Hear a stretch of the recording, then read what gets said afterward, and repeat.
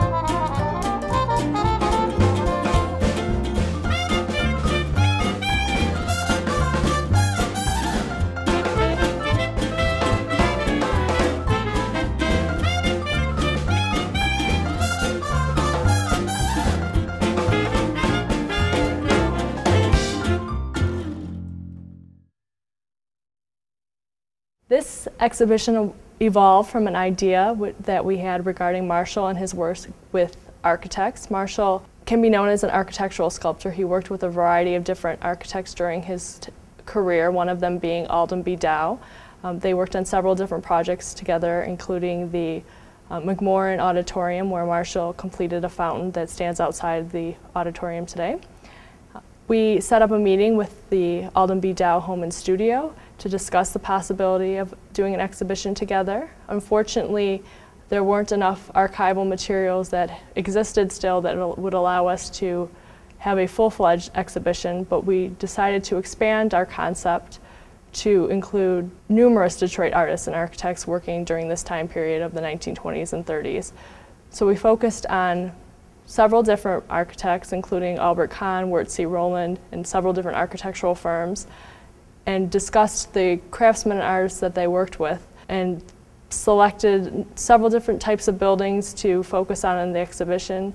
The introduction of the exhibition talks about the factors that led to this collaborative um, spirit was found during this time period. So we focus on the 1893 Chicago World's Fair, the training that architects received, the automobile boom in Detroit and the financing and patrons that resulted from this boom, as well as the City Beautiful movement. Also, we talk about the arts and crafts movement and the Detroit Society of Arts and Crafts, which was very influential in this time period. The next section that we will see is skyscrapers.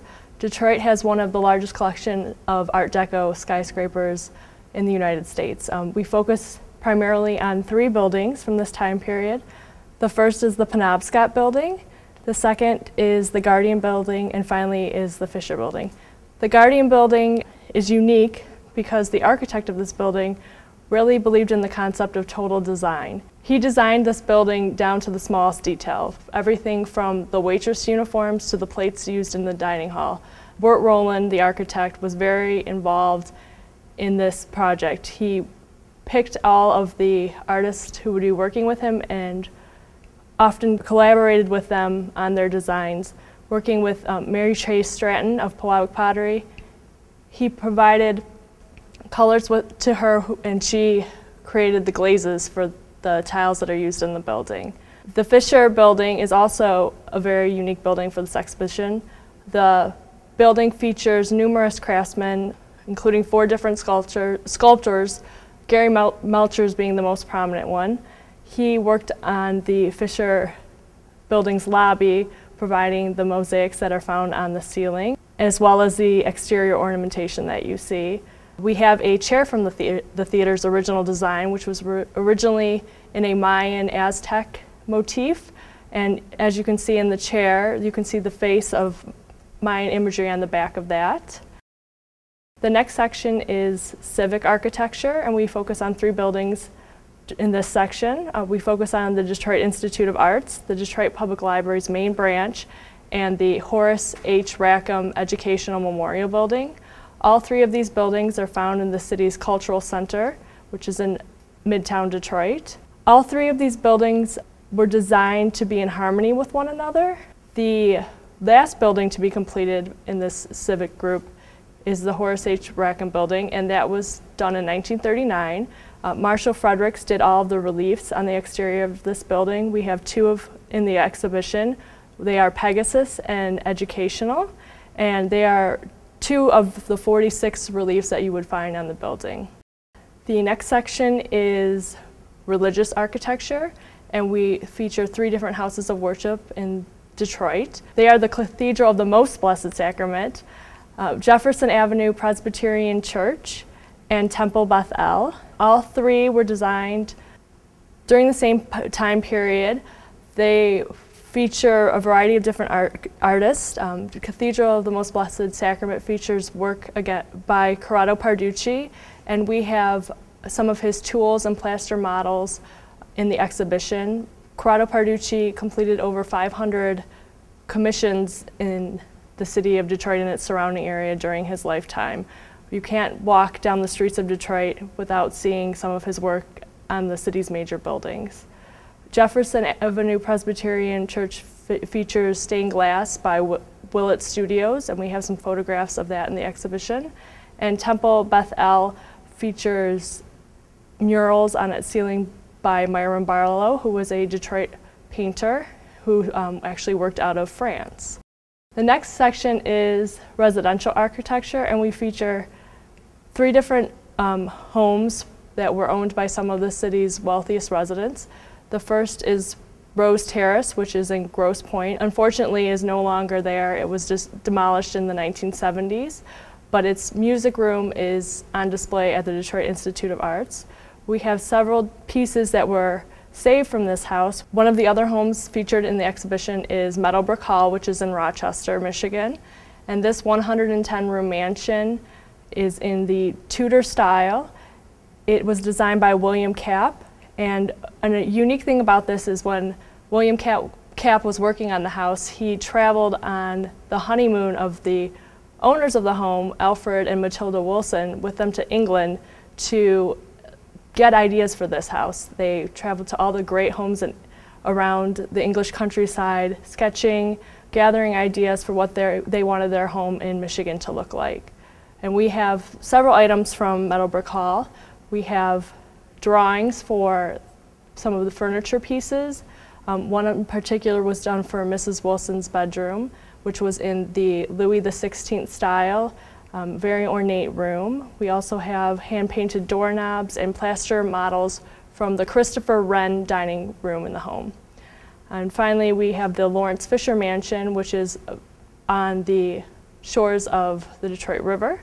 And this home is a very unique home. It has an eclectic style, um, very Art Deco, but also inspired by the architecture of California and Florida that was happening during the time. So it has kind of a Spanish style to it. And we have drawings from the home's interior designer, which is Francis Geck, um, for some of his pieces in the home, including the ballroom mirror he did. Then finally, we have um, Cranbrook, and we feature four buildings from Cranbrook. Cranbrook is a educational institution in Bloomfield Hills, Michigan, and it was started by George Booth and his wife Ellen. And we feature their home, which Cranbrook House, which was designed by Albert Kahn, and includes very many beautiful pieces. Um, specifically, we discuss the works by John Kirchmayer, who was a wood carver from Germany, and he carved an overmantel which features um, figures of notable artists from the time period. Um, there's even a, an image in there of Albert Kahn, the house's architect, and of himself. Then next we discuss Christ Church Cranbrook, which was a church built on the property by George Booth and still stands today. Um, this church is really the epitome of the ideal of arts and crafts. It's just full of works by um, local and national artists from the time period. There's beautiful frescoes by Katherine McEwen, more carvings by John, John Kirchmayer, Pewabic tile. It's just a stunning, stunning church. Then we move on to the two schools on the property, Kingswood School, which was for girls, and Cranbrook School for boys. Both schools showcase the work of the Saarinen family who collaborated on the design of the entire Cranbrook community. Eliel Saarinen and his wife and children um, worked on these projects together. They consulted with one another. Saarinen's wife contributed numerous textiles to these schools, and Eero Saarinen and her, his son did uh, the furniture designs for them, uh, specifically the furniture designs for Kingswood School, which are some of his first designs in the country. He completed these as a, as a high schooler, so as a teenager, he designed these pieces of furniture. And then the daughter, P Pipsan, did some of the interior design work doing stencil decorations for ceilings in the buildings. And then finally we conclude with a discussion of what led to the decline of these collaborations between artists and architects. Of course, the onset of the Great Depression in 1929 dramatically affected the financing that was available for these types of projects. No longer were owners of companies and and patrons of the arts able to finance such projects which would in include so many different types of art and involve artists and craftsmen. Additionally, um, by the time the Great Depression ended, many of the artists and craftsmen who had worked during this time period had passed away or were no longer working actively in the field. Following World War II, the art and architecture styles in the country changed dramatically. Um, the Art Deco was replaced by the international movement or modern style of architecture, which focused more on the structure itself, um, using the shape of the building as decoration itself. One of the things that I hope people take away from this exhibition is just the beauty of the buildings themselves. I hope it encourages them to explore the city of Detroit and its architecture because it truly does have some of the most outstanding pre-World War II architecture in the country. For those folks who may not be able to travel to Detroit, I really hope this encourages them to look around their own community to see the beautiful works of art and the beautiful architecture that surround them every day. This time period has so many wonderful examples of Art Deco and classical revival architecture, and most cities um, should have pieces that you should be able just to see by walking down the street.